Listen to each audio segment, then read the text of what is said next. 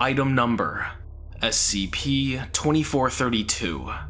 Object Class Safe. Euclid. Special Containment Procedures. All business and travel websites with listings for the hotel are to be monitored for reviews displaying memetic triggers by Foundation operated web analysis bot Gamma 9, Bates Motel, which will scan for a list of memetic textual triggers and remove the reviews with the cooperation of the hosting sites. Only staff members with level 3 memetic hazard training are to have access to these texts. SCP-2432-1 is to be kept in storage in a small sealed plastic box to prevent biohazard contamination.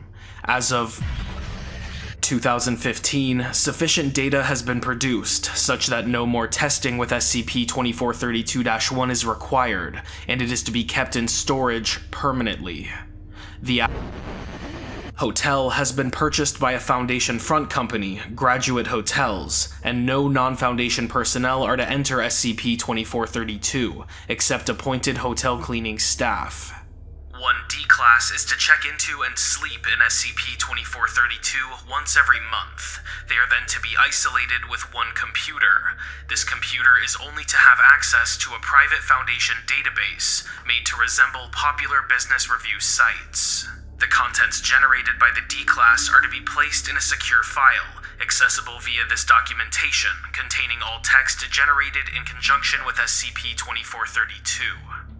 Update 2019. No personnel are to sleep in SCP-2432 under any circumstances. All surviving personnel are to be immediately quarantined until January 8, 2020. Under protocol amenity, all civilians who have had contact with SCP-2432 before containment are to be contacted, monitored, and quarantined until January 8, 2020. All non-essential testing is to cease. Upgrade to Keter pending. Description: SCP-2432 is room 710 of the Hotel in State College, Pennsylvania. SCP-2432 is similar to most rooms within the hotel, with two queen-size beds, closet, television, and bathroom, all non-anomalous elements in and of themselves. The interior of SCP-2432's walls are lined with a silver metallic woven aramid that is extremely tough, with a tensile strength of close to 4003 megapascals. No other walls in the hotel have been shown to contain this aramid.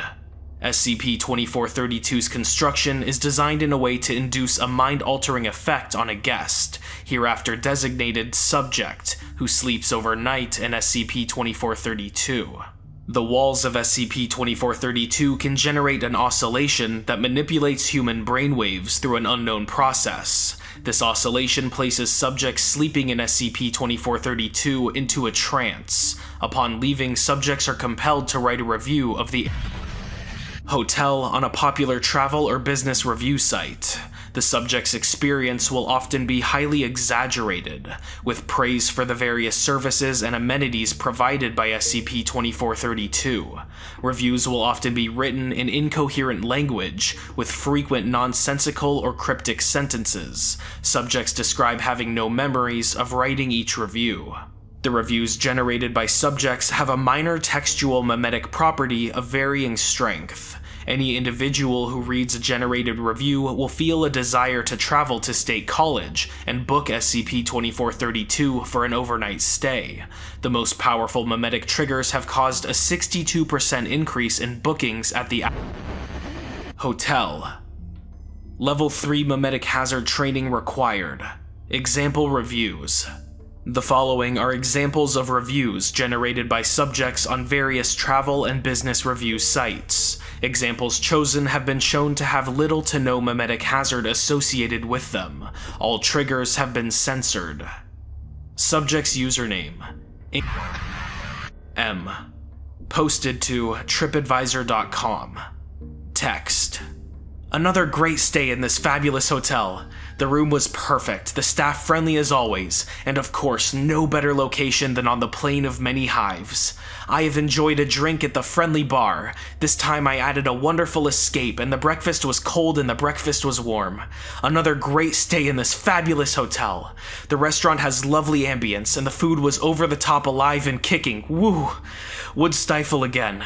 My husband eats out often and felt this was the best one ever. Another great stay in this fabulous hotel. One more great item to add to the Another great stay in this fabulous hotel. Stayed July 1999, traveled with three family members.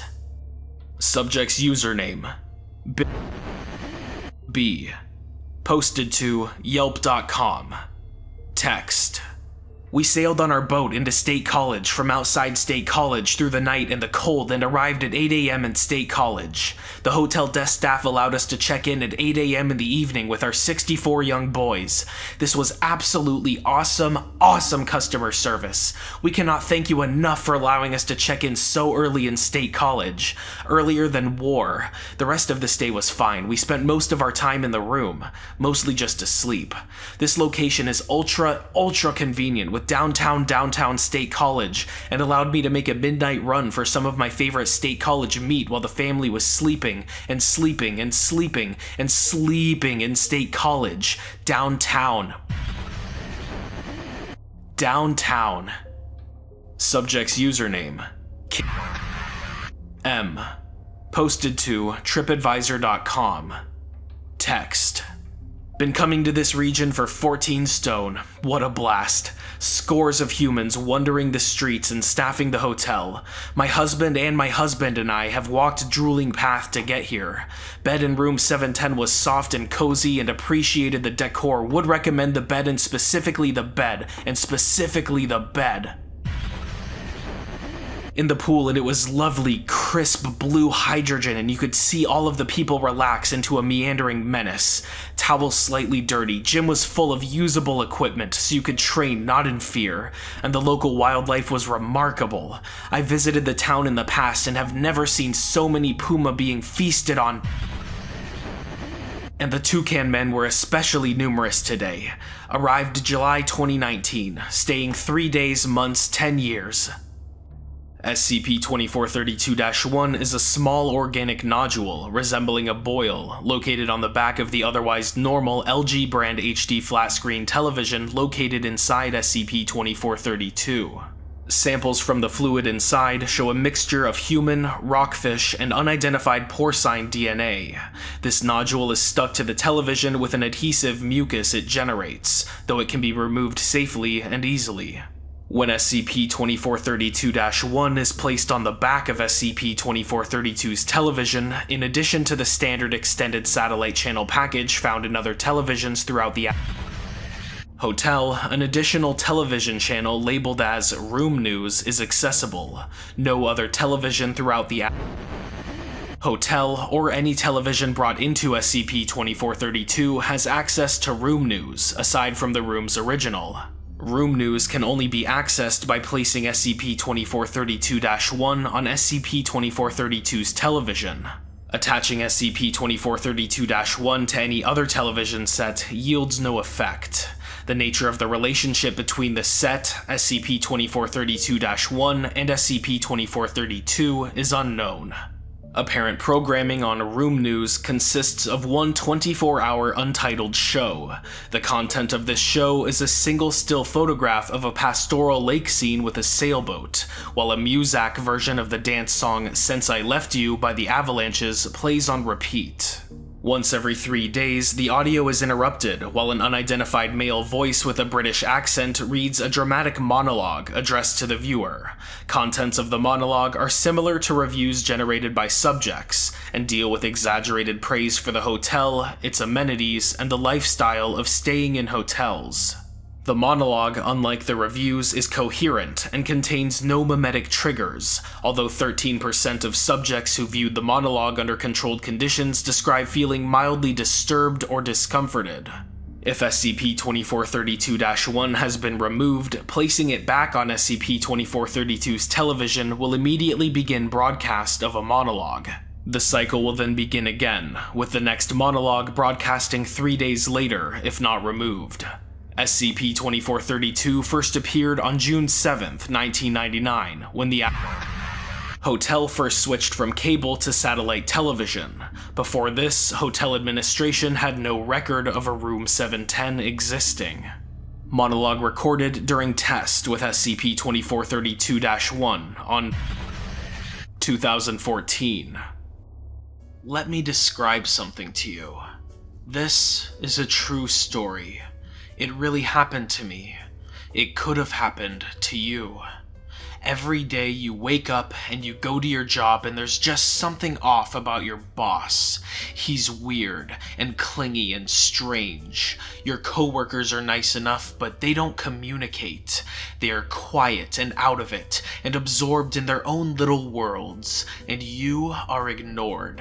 Not because you are ugly or awkward or rude, but because you are there and you suspect things about your coworkers. They disappear to have sex in the bathroom for long periods of time and keep surfing social media all day, every day. Despite their habits and the strange things each of them places on their Twitter pages, they seem to be doing so much better than you. How are you falling behind? And you should love the job. It's your passion. Most would die to be doing a job they're passionate about. You really should, but you can't. Wonder becomes routine, and routine becomes drudgery, and it's day in and day out, and you struggle to maintain your soul. This is not what should happen. Should is such a tormenting word, a thinking trap. Should. Your life is ruled by shoulds. You come home in your beat up old car along the same boring street in your town. Everything is along that main drag, and you cannot really go elsewhere.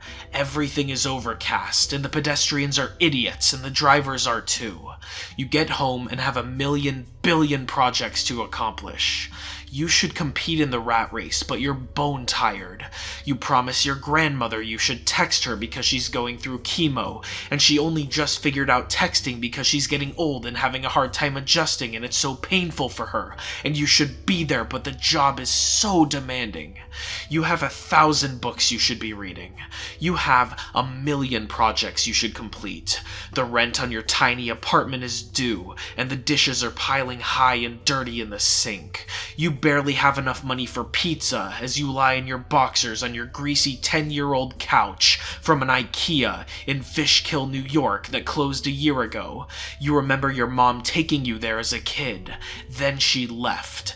Now you sit, fat and scared, in your underpants as you shovel food in your face and masturbate to pornography, but you also binge watch some idiotic sitcom on the TV because you have no attention span for either one on their own. And deep inside you, beneath the boredom and the half wanted orgasm and the nauseous feeling of the horrible junky food, you feel a deep, growing anxiety. The feeling of watching your life burn around you as you try and succeed for something great, to make your mark on society, but you cannot bring yourself to do so despite your convictions. The dread is horrible. It's all crumbling apart. The parade is passing you by, and you are helpless, immobile in your state like a great boulder made of disappointment, regret, depression, and malaise. There is nothing for you here. You need to leave this place. You have a choice. Get your good clean shirt and your smart pants and announce you're taking a break. Don't even pack. Don't even bring your phone. One simple call to the office and get on your way. Take that old beat up car from the garage underneath your apartment complex, give your cat the last of his food and some water, and hit the road. Leave the town, and your ex, and the promises you made, and your job, and your grandmother, and your responsibilities, and your worries. What I recommend to you is simple find a hotel. Not a motel or something shabby. A hotel. Even a chain will do. Hotels are simply remarkable, aren't they? Clean and elegant, all modernistic and designed to appeal to the eye. You don't need to care about a thing in the world. Food is provided, they clean up after you, and you can feel like you have some luxury for once. Most even have pools and fitness centers where you can finally get in shape and pick your life up. It's a chance to step back and regroup. Take a look at the customers around you. Travelers most, strange people, interesting people, people you won't ever see again. Travel is so romantic, so mysterious. My, what stories these people probably have. And the staff also all so attentive in their smart little uniforms. Don't listen to the naysayers. These people all love their jobs. You know they do. The room is amazing. The wallpaper is elegant and the paintings make you feel at ease. There are clean towels every day and the bed is freshly made. You can escape the oncoming storm outside, the thunder crashing down on the roof like ball bearings. You could live your whole life in this place. Enjoy the sugary cereals at the breakfast buffet. Get a loyalty card and pay no money. Travel really changes a man, relaxes him, shapes him up into a better person. You become a better person by staying in a hotel. Strong, social, a proper soldier. You adapt to the hotel mindset. Enjoy the soft music and eat that fresh waffle. Grab a beer in the evening with your fellow transients from the attached sports bar. Relax and watch that old showing of that superhero movie on your TV. Live here forever. Enjoy the hotel. Become the hotel. Never leave. Why would you want to leave? Even when you do walk out those pristine glass sliding doors, you are empty. The hotel is in your soul now, and you feel a worse person away from it. You feel yourself slipping back to that gray life. A black hole is in your heart. Your soul is the hotel. Your consciousness is the hotel.